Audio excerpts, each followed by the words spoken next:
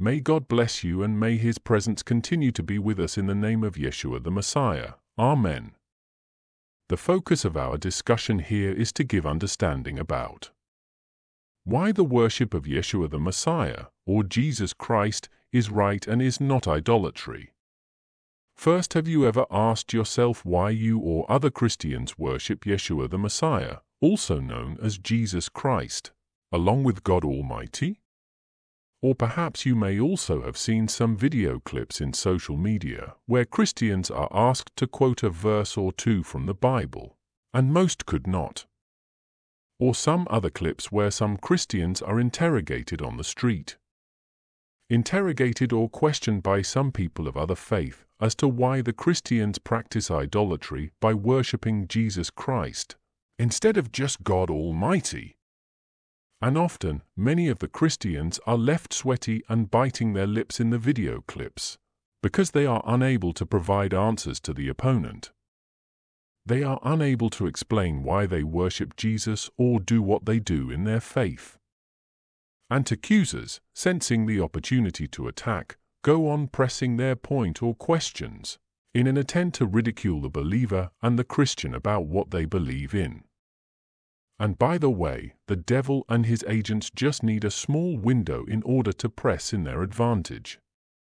And do not be surprised to know that the devil and the agents of the kingdom of darkness study and know the Bible very well than many believers. This is so that they can deliberately twist it in order to attack and confuse a believer who does not know their Bible. The Word of God is the sword of the Spirit, by which the enemy is quickly silenced. Satan knows the Bible, but deliberately twists it to confuse. The Lord only had to use the Word of God correctly to reply to Satan, such as in the temptation as recorded in Matthew for verses 3 to 11. All the Lord had to say was that it is written. He did not have to even say the book or chapter or verse. But what the Bible says. His knowledge and understanding of what the Scriptures says was enough. That is what believers need. Some do not even know what the Bible says. Some memorize Bible books, chapters, and verses, but without without understanding. Now let us see just ten reasons, out of many other reasons, why Yeshua the Messiah or Jesus is worshipped by Christians, and it is not idolatry. If you need to know more about this and all about the end time, the AZ of the end time, refer to the end time book entitled The Mysteries of the End Time Unveiled. And many of what is in the book are already being fulfilled for the end time. Now let's look at some of the reasons why the worship of Yeshua the Messiah or Jesus Christ is not idolatry. Number 1 the scripture tells us that Yeshua the Messiah or Jesus Christ is the begotten Son of God, John 3 verse 16. John 3 verse 16. For God so loved the whole world that he gave his only begotten Son, so that anyone who believes in him should not perish but have everlasting life. End of reading. The key words I want to point out here is only begotten Son. It means to be unique, one of a kind born. That means there is no other. Angels are sons of God, but not begotten. They were created. We are children of God, but not begotten. We were created and then adopted through the begotten Son of God, Yeshua the Messiah. Only Yeshua the Messiah has the DNA and the exact composition or identity of God. That makes him God. So Yeshua or Jesus is not just a special prophet to be respected. He is more than that. Both him and God are prophets, because they know all things and have spoken of what will happen from the beginning before they do. But just as God is not referred to as just a prophet, the same is Jesus or Yeshua the Messiah who shares the same identity with God.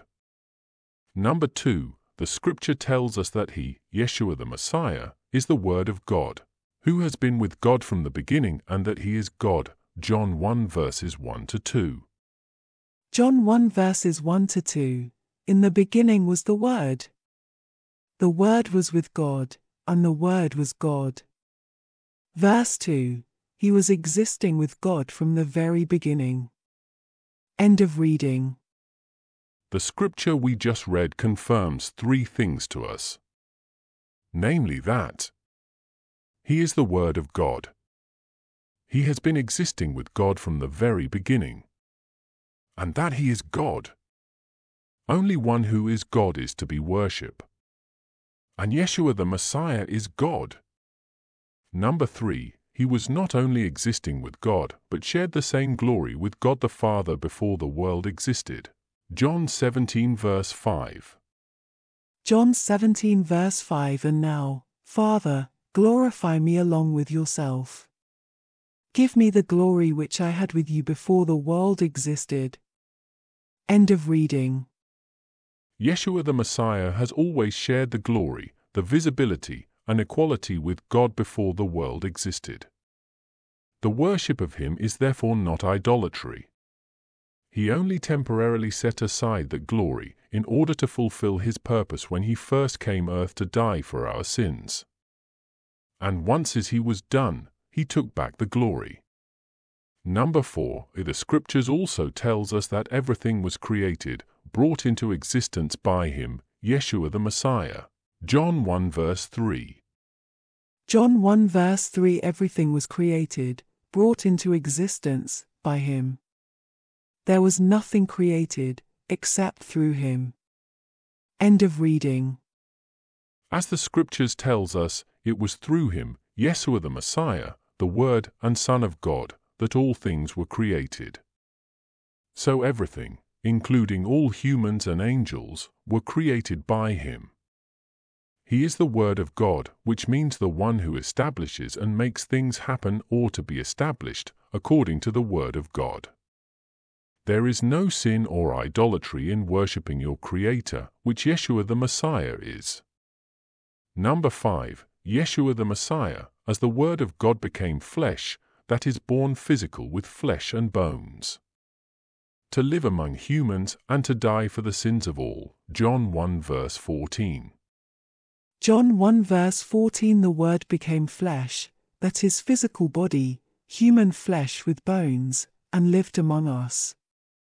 We have seen, with our own eyes, his glory, the glory of the only begotten, unique, one of a kind born, Son of the Father. He was full of grace, unmerited loving kindness, and truth. End of reading. So the scripture tells us he became flesh and dwelled among humans to fulfill his purpose of salvation. While on earth, he was not worshipped as God because he needed to complete his purpose and so confirm that he is God. Which he did and then took back his original glory and position as God. Number 6. He died and rose up from the grave on the third day to confirm he is God. He confirmed that grave and death have no hold on him, and that he is the resurrection and life. And he holds the key of life and death, John 11 verse 25, Revelation 1 verse 18. Only one, who is God, can hold the key of life and death. And only him can give life or take away life permanently. That is who Yeshua the Messiah is and deserves our worship. Number 7. Upon his resurrection, he ascended to heaven, the highest of heavens to take his place at the right hand of God the Father. That makes him God. And he has a name that is above all other names, and at his name every knee bows and every tongue confesses that he is Lord.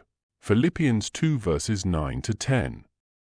Philippians 2 verse 9 On account of this, God also raised him up gloriously to the highest place of honor, and has given him the name that is above every other name. Verse 10 That at the name of Yeshua, every knee should bow, in heaven, on earth, and under the earth. Verse 11 And that every tongue should confess that Yeshua the Messiah is Lord, to the glory of God the Father. End of reading. John 14 verse 14. If you ask for anything in my name, I will do it. Only one who is God can make such a promise. That makes him God. Number 8. The scriptures tell us that he is the Lamb of God and he is worshipped in heaven day and night. This followed the completion of his first coming to the earth to die for the sins of all and rose up from the grave. He is worshipped in heaven by the elders and the angels. Revelation 5 verse 8. Revelation 5 verse 8 After he had taken the scroll, the four living beings prostrated along with the twenty four elders in front of the Lamb. Each one was having a harp, and golden bowls full of incense, which are the prayers of the saints.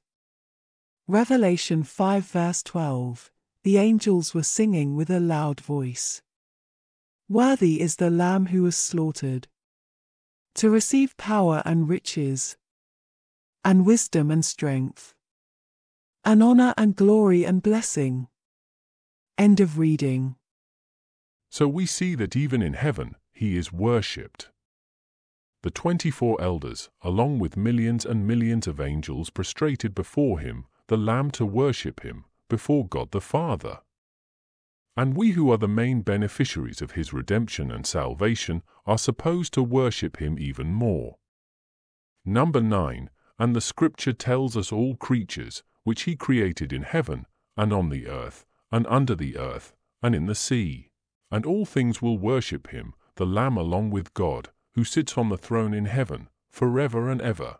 Revelation 5 verse 13.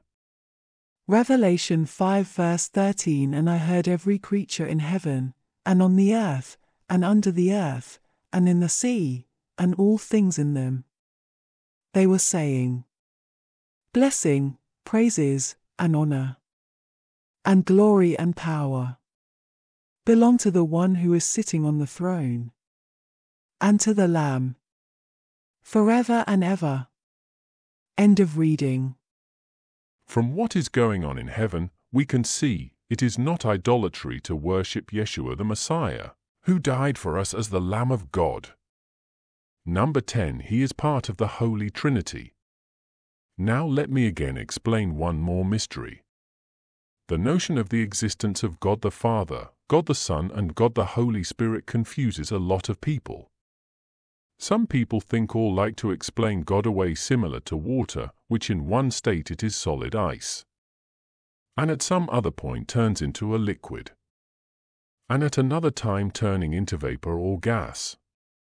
So they picture or start with the God of the Old Testament. Then they assume he vacated his throne in heaven and changed to come to the earth to die on the cross. And then after that, that same God rose up and turned into the Spirit and went back to heaven. This is very wrong. Now let me again, as I had done in the past, explain the mystery of God the Father, God the Son, and God the Holy Spirit. Yes, they did appear to me, not one after the other, but simultaneously together to me, in bodily form. And am therefore a witness of their coexistence and they exist just as the Scripture has said. It is not a fallacy, but true. Let me give you a simple explanation I got from God Himself. Let's go back to Genesis, and as we do so, think of this. When God said, in Genesis 1 verse 26, Let us create man in our own image. Who was he talking to? Who do you think that us represent? Do you think God was talking in fellowship with the angels to get their permission? No. Not to angels. For angels are his mere messengers, who are creatures created by the Son. For through the Son were all things, including angels, created. So God does not need to go into discussion or conference meeting with angels about creation of mankind. When God said, Let us create man in our own image, God the Father was talking to the Son and to the Holy Spirit. It was the Trinity in operation. It was their decision to create angels and also their decision later to create mankind. And Adam was created in the image and likeness of God. And since God the Father and the Son and the Holy Spirit have the same image and likeness, he simply said, Let us create man in our own image, not images or likenesses. For there is just one. So, this mystery or understanding of the Father, Son, and Holy Spirit and their operations, I'm sharing with you I received directly from God the Father Himself. And God the Father, who was standing with the Son, did the speaking Himself to me this time. Now God the Father, God the Son, and God the Holy Spirit are one and the same. And they operate together seamlessly. They are of the same likeness and mind, and are completely connected in thinking, thought, decision, desire, and so on. If for any reason they separate, one can perform all the functions of the other, and are linked all the time. It is impossible for them to disagree with each other or for any to be in disagreement with the other two. For they all have the same thought, will, and desire simultaneously. Now, here is the simplest way to understand. Consider a large piece of paper in your hands. Now, cut or divide the paper into three parts.